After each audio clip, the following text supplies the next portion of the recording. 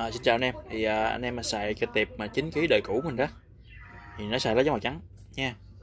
Thì thông thường lá gió màu trắng anh, anh em mua lá gió zin á là ở sau nó có đóng số nè như này số 4 này nha. Còn cái hàng nội nó không có số. Anh em thấy cái viên không? Nhựa ở trong nè đó là hàng xịn.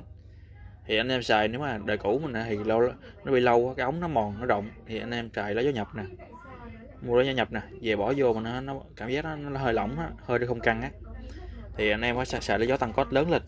Nha. Đó. Cốt thì này là silicon tăng cốt này thì không thường chuẩn nó là 25 ly. Thì mình tăng lên 25 ly 2 25 ly 3 25 ly rưỡi cho nó khích nha. Nó khích thì nó nó mới căng được.